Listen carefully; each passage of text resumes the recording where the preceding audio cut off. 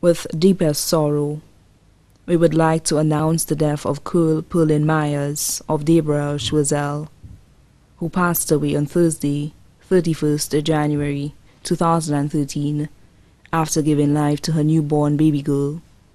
She was 34 years old. The funeral service of the late Kirl Pauline Myers will be held at Our Lady of Lourdes Roman Catholic Church, Choiseul, on Thursday, February 14th, 2013 at 3.30 p.m. Then the body will be laid to rest at the Choiseul Cemetery.